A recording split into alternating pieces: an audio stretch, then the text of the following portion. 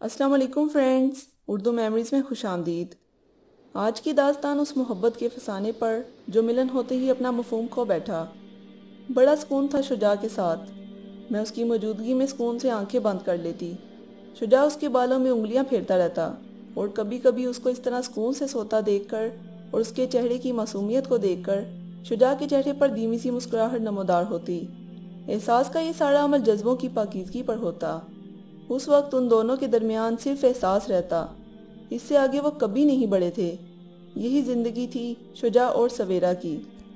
दोनों निजी बैंक में काम करते थे। दोनों कज़न थे, अच्छे दोस्त थे।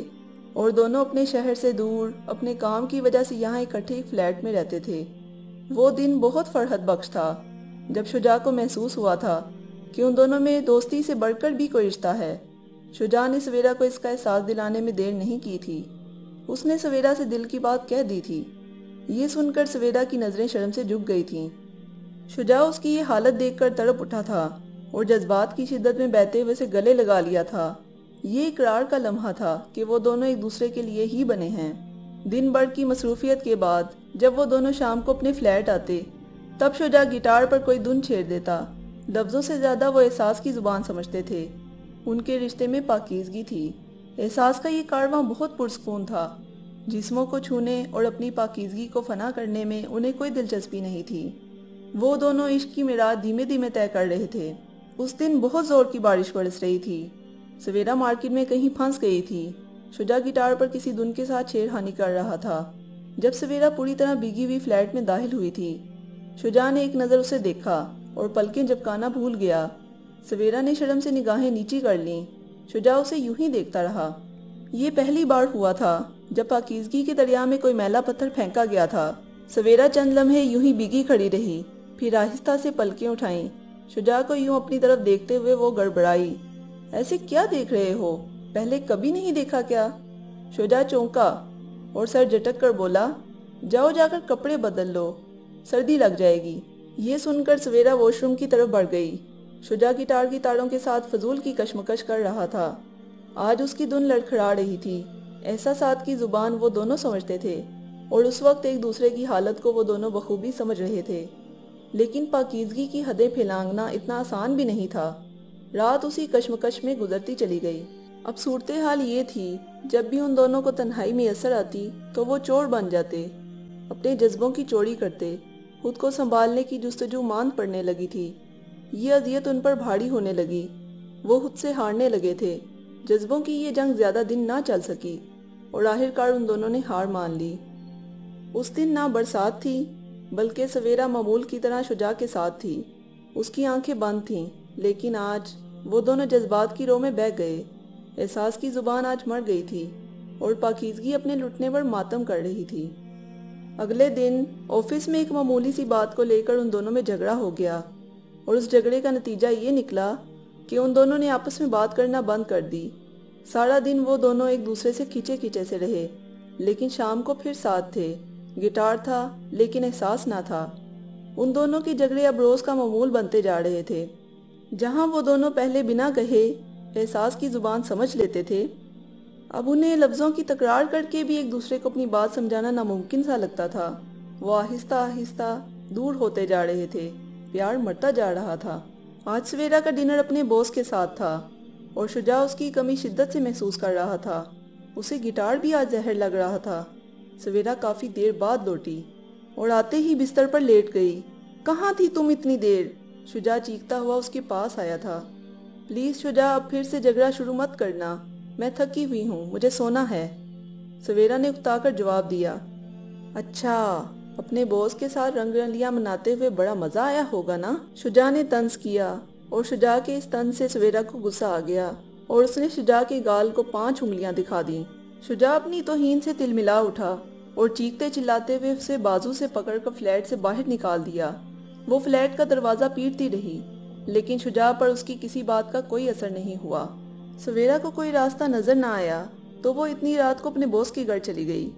वो दोनों अलग हो गए थे ऑफ़िस में वो दोनों एक दूसरे से लाताल्लुक रहते, आपस में कोई बात ना करते, उन दोनों में अना की दीवार खड़ी हो गई थी। अपने मुताबिक वो दोनों एक दूसरे को भूल चुके थे, लेकिन ये उनकी गलत फहमी थी। काम खत्म करते ही दोनों एक दूसरे की नज़रों से ओझल हो जाते। ये कमी उन्हें कहीं ना कहीं महसूस होने लगी थी। एक शाम, जब सारा स्टाफ काम खत्म करके निकल गया था, सवेरा ऑफ़िस में ही बैठी रह गई थी। वो दानिस्ता नहीं बैठी थी, ना उसका ऐसा कोई इरादा था। वो कहीं खो गई थी। वो सोच रही थी कि सब कुछ ठीक चल रहा था, कितना सुकून और प्यार था। शुजा और उसके दरमियान वो प्यार, वो सुकून आखिर कहाँ चला गया? जिस दिन से उन्होंने सास को छोड़कर सिर्फ़ नफ्स को अपनी ज़रूरत बनाया था, सब कुछ ख़त्म हो गया था और रही से ही कसर उनकी अना और जिद ने पूरी कर दी थी। कसूर तो दोनों का था, सजा भी दोनों भुगत रहे थे। उस वक्त उसके मोबाइल की बेल बजी, वो चौंकी और मोबाइल कान से लगाया। दूसरी तरफ़ उसका बॉस रहील था। कहाँ हो भाई बहुत देर कर दी। हाँ वो मैं ऑफ़िस में हूँ, आ रही हूँ। आधे घंटे में।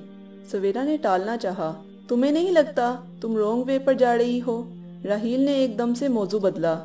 जी? सवेरा चौंकी। तुम अच्छी तरह जानती हो सवेरा, मैं किस बारे में बात कर रहा हूँ? राहील का लहजा संजीदा था। वो शुजा और सवेरा के बारे में सब कुछ जानता था। हाँ। सवेरा ने ठंडी सांस बढ़ते हुए कहा और कुर्सी से टेक लगा ली।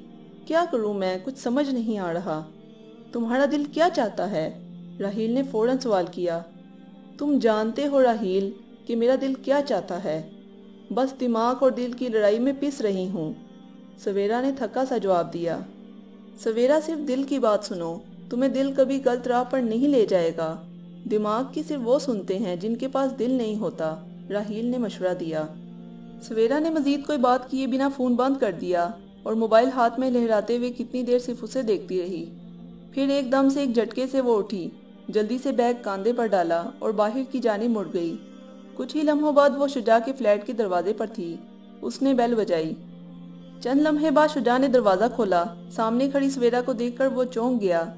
लेकिन फिर कितनी ही देर दोनों सिर्फ़ एक दूसरे को देखते रहे, जैसे पलकें झपकना भूल ही गए थे। उस वक्त सवेरा की आँखों से दो मोती निकले और उसकी गालों को भिगोते चले गए। मैं समझ गई शुजा, मोहब्बत का एहसास सिर्फ़ जज्बों की पाकिजगी पर टिका है। अगर नफ्स को छू लिया जाए, वहाँ यही होता है जो हमारे साथ हुआ। वो धीमे से बोली, उसकी बात जारी थी कि शुजा घुटनों के बल बैठ गया, उसका सर झुका हुआ था और वो फूट फूट कर रो दिया। सॉरी सवेरा, सब कसूर मेरा है, मुझे खुद को संभालना चाहिए था, लेकिन मैं बहक गया, मैं माफ़ी के काबिल नहीं हूँ सवेरा। मैं बहुत बुरा आदमी हूँ, मगर तुम सिर्फ़ मेरी हो, और मैं तुम्हें जायज़ तरीके से अपनाऊँगा। सवेरा ने उसे कांधे से पकड़कर उठाया, और उसके गले लग गई। गलती मेरी भी है, शुजा। हम आइंदा अपनी मोहब्बत को अपनी नाजायज ख्वाहिशात की नज़र नहीं करेंगे। वादा करो, शुजा। सवेरा ने अपना हाथ शुजा की तरफ़ बढ़ाया। शुजा ने फ़ौरन उसका हाथ थाम लिया। वो मुस्कुरा उठी। बहुत दिन से तुम्हारे गिटार पर कोई धुन नहीं सुनी। सवेरा ने नम आँखें साफ़ करते हुए फरमाइश की। शुजा ने उसका हाथ पकड़ा और उसे लेकर अंदर की तरफ़ बढ़ गया। दूसरे दिन उनकी मोहब्बत मिराज पाने वाली थी, क्योंकि आज की उस रात दोनों का फैसला शादी के बंधन में बंधने का था। कोर्ट मैरिज करके वो इस मोहब्बत को मिराज बख्शने वाले थे।